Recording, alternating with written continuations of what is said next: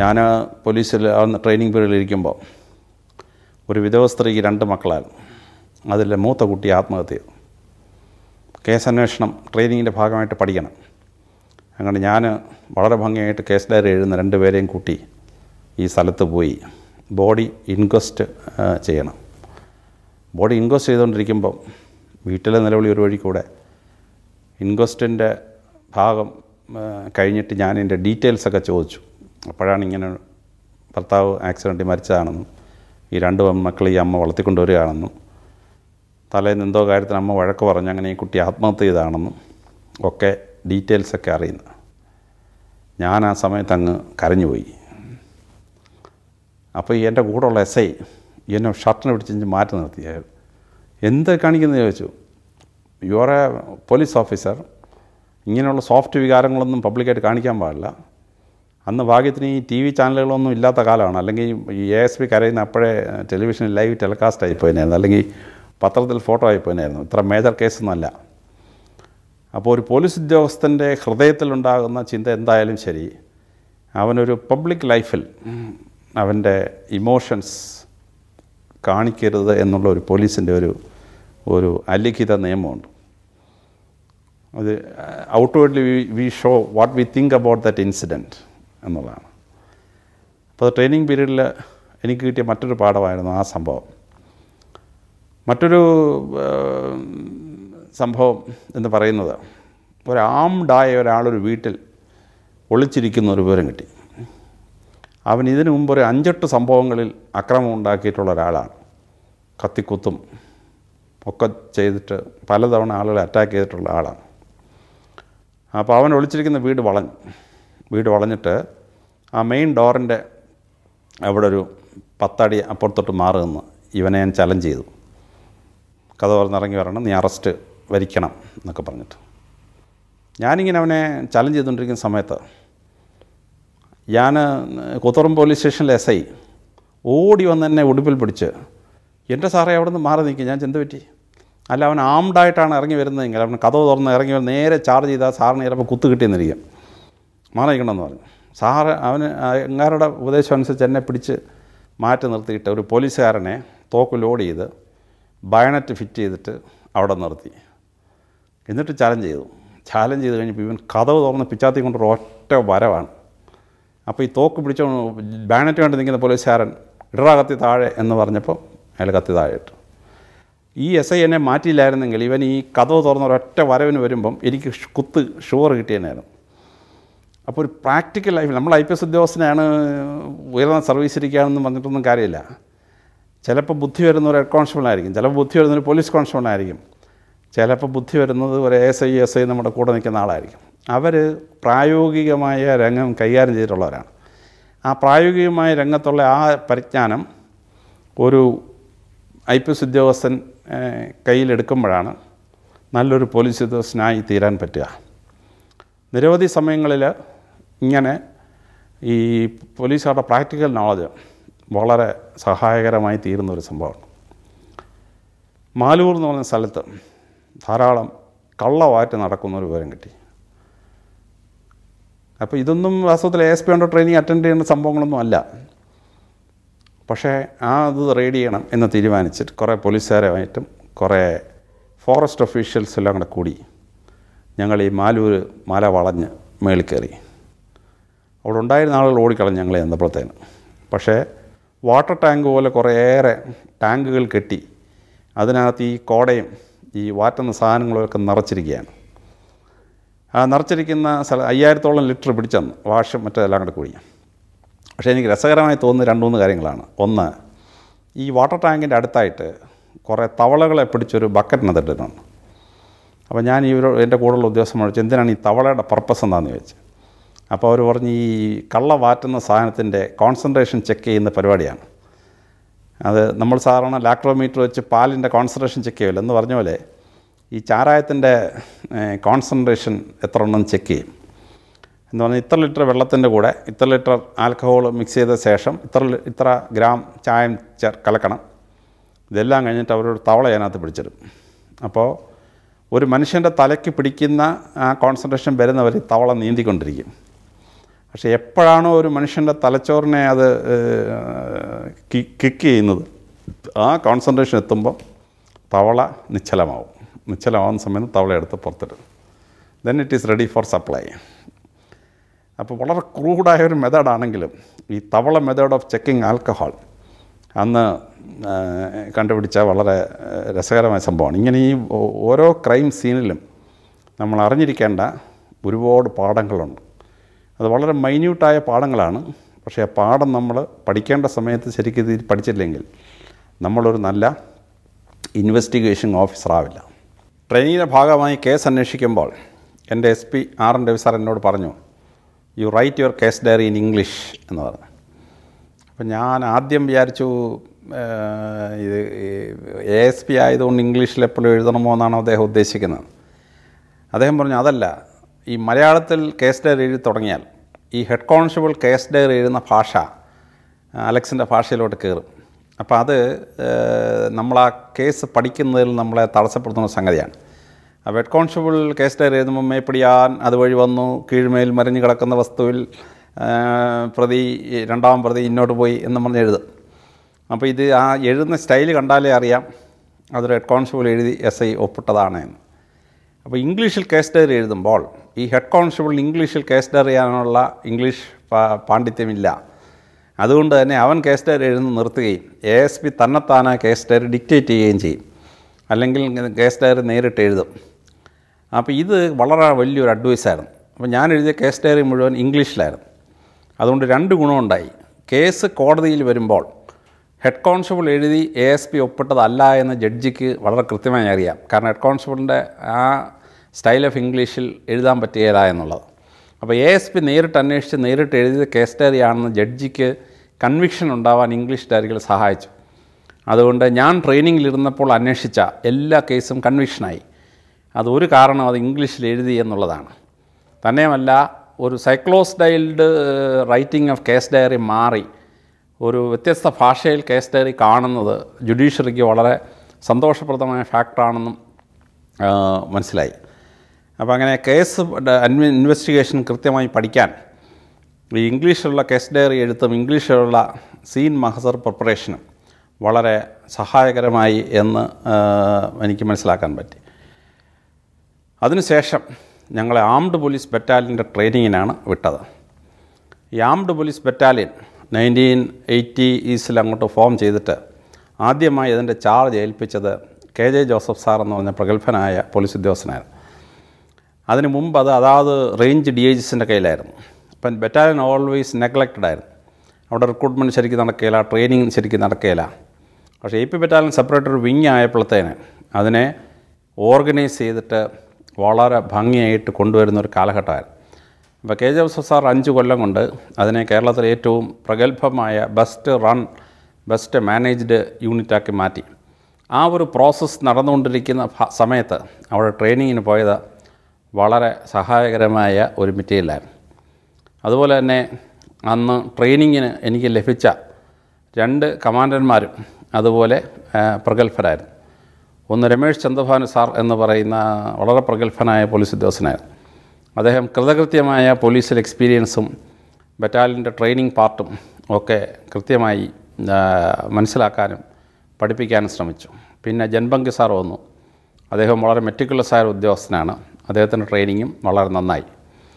പക്ഷേ അവിടെ ഉണ്ടായ ഒരു സംഭവം പ്രത്യേകം പറയേണ്ട ഒരു കാര്യമാണ്. അവിടെ താമസിക്കാൻ ഉദ്യോഗസ്ഥമായി താമസിക്കാൻ പ്രത്യേകമായ ഗസ്റ്റ് റൂംസ് ഒന്നും ഉണ്ടായിരുന്നില്ല. അതുകൊണ്ട് പണി ജസ്റ്റ് പൂർത്തിയായ ഒരു ആശുപത്രി കെട്ടിടത്തിലാണ് ഞങ്ങൾക്ക് താമസിക്കാനായിട്ട് പറഞ്ഞത്. അപ്പോൾ ട്രെയിനിങ്ങിന്റെ ഭാഗമായി ട്രെയിനിങ് നോട്ട്സ് എഴുതി കമാൻഡിന് കൊടുക്കണം. അപ്പോൾ ഞാൻ പോലീസുകാരുടെ കഷ്ടപ്പാടുകളെ പറ്റിയും ആ ബാരക്കുകളുടെ സ്വച്ഛാവസ്ഥയെപ്പറ്റിയും ഒക്കെയാണ് ഞാൻ കൊടുത്ത ഒരു റിപ്പോർട്ട് ആ റിപ്പോർട്ട് കണ്ട ശേഷം എനിക്കൊരു ഉത്തരവ് കിട്ടി. ഈ കഷ്ടപ്പാടുകൾ കുറച്ചുകൂടെ ഭംഗിയായിട്ട് മനസ്സിലാക്കാൻ വേണ്ടി എ എസ് പിമാർ രണ്ടുപേരും പോലീസുകാരുടെ കൂടെ പോയി ബാറക്കിൽ താമസിക്കുക എന്നായിരുന്നു ഉത്തരവ്. അപ്പോൾ ഈ പോലീസിലൊക്കെ ഇങ്ങനെയൊക്കെ ഈ കുറ്റപ്പെടുത്തിക്കൊണ്ടുള്ള റിപ്പോർട്ട് കൊടുക്കുന്ന വലിയ അപകടമാണ് എന്ന് പഠിപ്പിച്ച ഒരു സംഗതിയാണ്.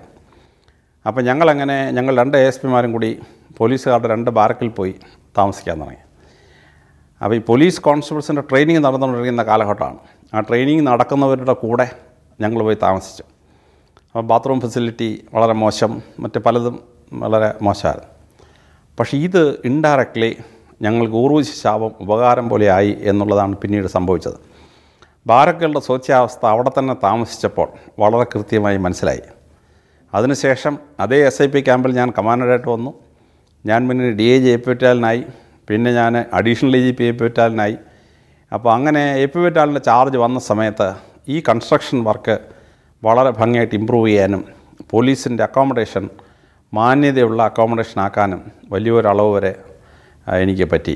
പിന്നീട് Kerala police housing construction corporation M D ആയ സമയത്ത് പോലീസുകാരുടെ വെൽഫെയർ അനുസരിച്ചിട്ടുള്ള കെട്ടിടങ്ങൾ പണിയാനുള്ള അവസരമുണ്ടായി. പോലീസ് അക്കാഡമിയുടെ ഡയറക്ടറായ സമയത്ത് ഈ പോലീസ് ട്രെയിനീസ് താമസിക്കുന്ന അക്കോമഡേഷൻ വളരെ ഭംഗിയാക്കി മാറ്റാൻ വേണ്ടി ഉള്ള ശ്രമങ്ങൾ നടത്താനും ഈ താമസം സഹായകരമായ ഒരു കാര്യമായി. അപ്പോൾ ആ ട്രെയിനിങ് നടന്ന മൂന്ന് മാസത്തേക്ക് ഇച്ചിരി കഷ്ടപ്പാടായിരുന്നുവെങ്കിലും അതിൽ നിന്ന് കിട്ടിയ അനുഭവ പാഠം പിൽക്കാലത്ത് വളരെ അനുഗ്രഹപ്രദമായി മാറി എന്നുള്ളത് വളരെ പ്രത്യേകം ഓർക്കുന്ന ഒരു കാര്യമാണ്.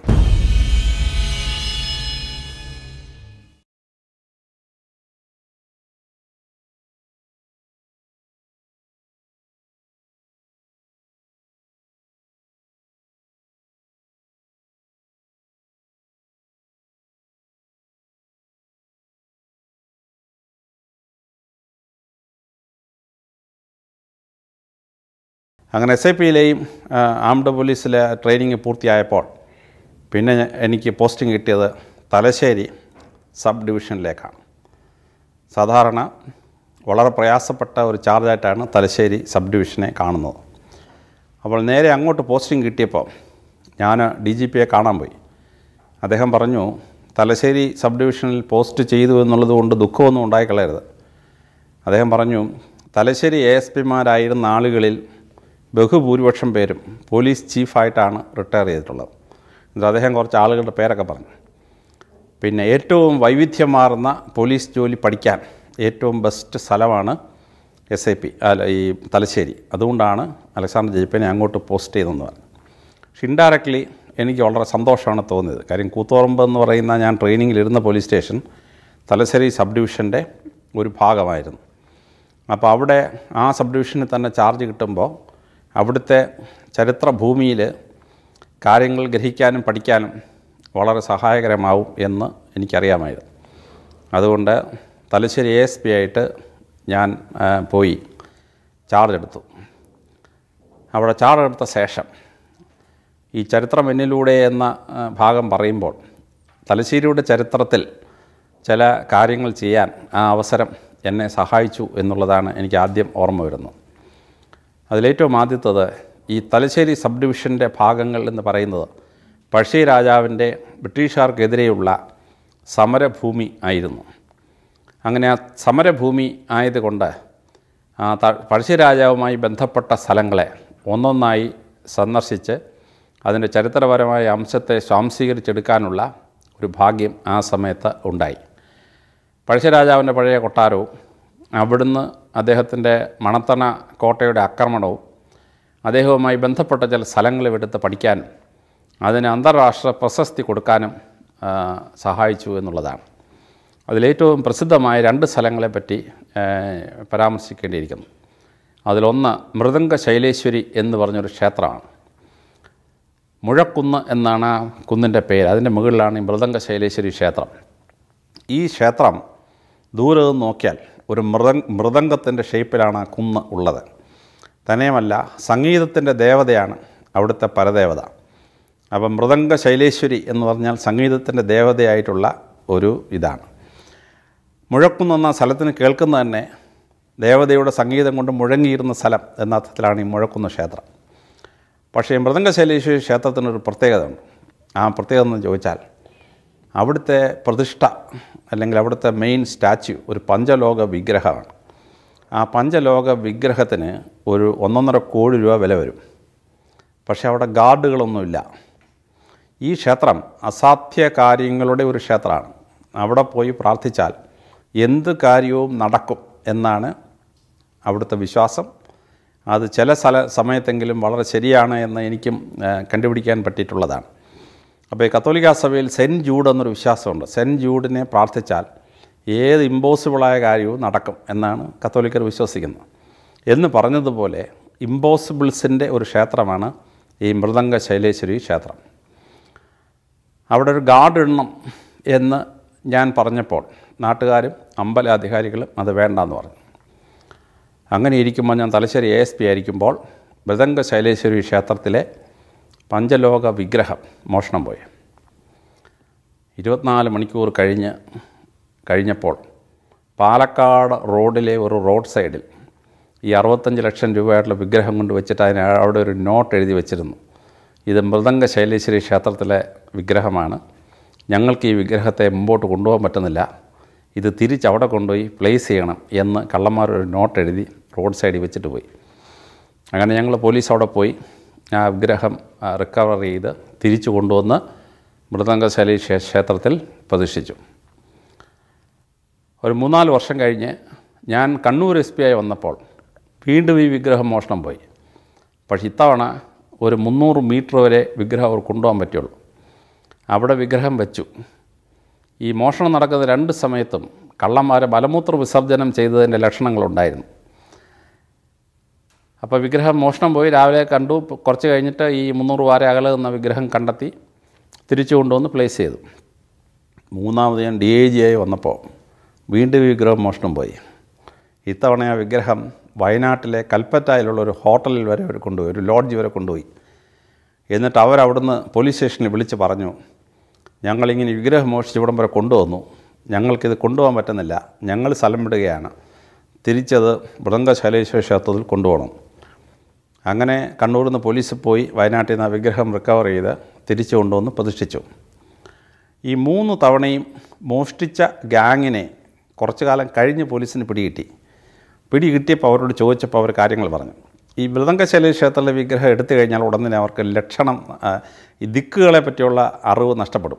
വടക്കേതാണ് തെക്കേതാണ് കിഴക്കേതാണ് പടിഞ്ഞാറാണ് കണ്ടുപിടിക്കാൻ പറ്റിയില്ല ഇവർ ഈ ദിക്കറിയാതെ ഇവർ കുഴങ്ങിപ്പോവുകയാണ് തന്നെയുമല്ല അവരുടെ ബവൽസിന്റെ കൺട്രോൾ അവർക്ക് നഷ്ടപ്പെടുകയാണ്. മലമൂത്ര വിസർജനം ചെയ്യാനുള്ള സ്പിഞ്ചേഴ്സിന്റെ കൺട്രോൾ അങ്ങ് നഷ്ടപ്പെടും. അപ്പോൾ അവരറിയാതെ മലവും മൂത്രവും പുറത്തു പോകും. അങ്ങനെയാണ് ഇവർക്ക് മൂന്നോണം ഇത് കൊണ്ടുപോകാനൊക്കാതെ ആയത് എന്നാണ്.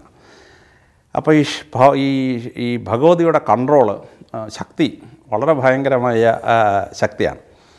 അപ്പോൾ ഞാൻ അതിന്റെ പൂജാരിമാരോട് ചോദിച്ചു എന്താണ് ഈ ശക്തിയുടെ ഉറവിടം എന്ന്? അവർ പറഞ്ഞു ഇതിനെ പ്രതിഷ്ഠിക്കുന്ന കർമ്മം സാറ് ശ്രദ്ധിച്ചിട്ടുണ്ടോ എന്ന് ചോദിച്ചു.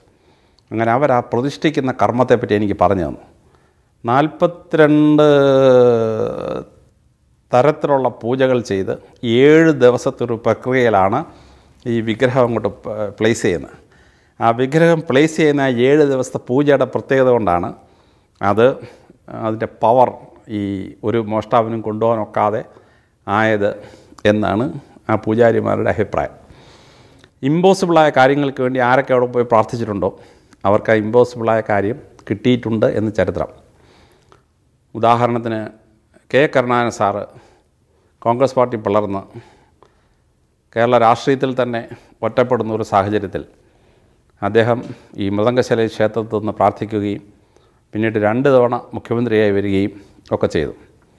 അതിൽ നയന്റീൻ നയന്റി ത്രീയിൽ അദ്ദേഹം ആ ക്ഷേത്രം ഒരു നാഷണൽ ട്രസ്റ്റാക്കാൻ ആഗ്രഹിക്കുകയും എന്നെ പി ടി സി പ്രിൻസിപ്പളായി എന്നോട് മുഖ്യമന്ത്രിയുടെ ഓഫീസിൽ വരാൻ മധുസൂദനൻ സാർ ആവശ്യപ്പെട്ട് അങ്ങനെ ഞാൻ അവിടെ ചെന്നു.